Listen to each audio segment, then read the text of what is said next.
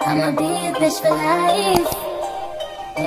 Yes, thank you for stopping on my channel, Styles Pro Grow, where we grow our confidence and our skill set in the form of styling hair.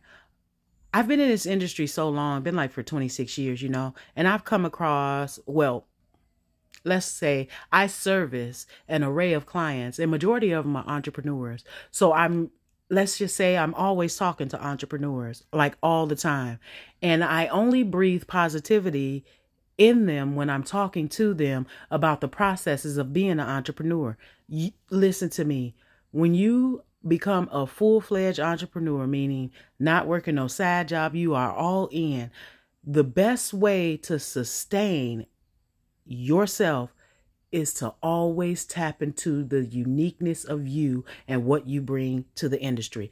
Please, oh, please, oh, please, your industry, this industry, whatever industry you are in, don't be naive enough to know, to naive enough to know and uncommon with this channel not to know that I'm talking about every industry that service in a high standard because that's what I do. I service with high standards, so I only talk, support, and encourage people to service with high standards, right? Right? Okay? Whatever industry you're in. Now that we got that disclaimer out the way, I'm saying when you're servicing, always, always, always exercise the uniqueness of your greatness. You understand? And make sure that your why is always in the front of your mind. Why are you doing this? Okay. And I'm saying that because when I started doing hair, I started doing hair because I understood the effects of unkept hair. I understand how it affected you physically, mentally. I understand how sometimes it affects us physically because physically we don't want to do anything. We don't want to be around nobody when our hair messed up. Like physically, we just want to just be alone, right? Who knew all you needed was your hair to be done and it will just really lift your spirits. You want to to understand why you do what you do. And for me, I became a hairstylist to help people through their bad hair days, if you should say. And in in my focus in helping people through their bad hair hair days by one understanding the hair that they have on their head and two knowing how to manipulate it in a way that it is soft shiny bouncy manageable sleek anything protected all of that and growing. Let's not forget and growing uh, I cultivated all of those skills, and that's why I'm here today. And that's why I became a hairstylist because I understand how it is to have uh, unkept hair. When I was younger, it was not in my control. Uh, when I became of age, maybe about 16, 17, 18, I understood that, yeah, it's going to cost you if you want to look pretty. You know what I mean? And a friend of mine woke up this hairstylist in me and I got confirmation from my dad's uh my dad's auntie that yes, you are a hairstylist. Your grandmother was a hairstylist. And I remember her vaguely being one because I can only remember my grandmother in her later years when she uh, developed Alzheimer's, and that seems to be the memories that that um, that flood my mind when I think about my grandmother. I I totally forgot that she was a hairstylist, but she was a hairstylist in what is right up the street from where I live at now, Chicago Heights.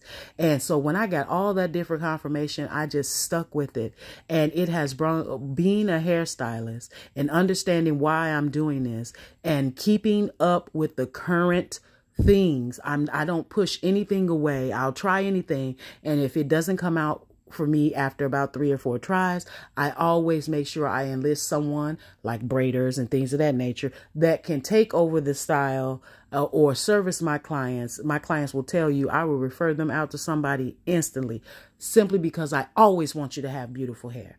I always want you to be slayed. Uh, and if any, any type of way, I'm talking about from head to toe. Actually, that's why I started selling clothes in, in, in my online store because I want to be the answer, which is my name on TikTok, the answer. I want to be the answer to your beauty needs, uh, or you needed trying to find direction on which way to go so you can be beautiful Start with Styles Pro. I'm trying to tell you. You're, you're in with Styles Pro too, but start with Styles Pro. If I can't do it, I know somebody who can. Believe me, I'm I haven't burned a bridge in this industry and I can go back to whatever salon I ever been at.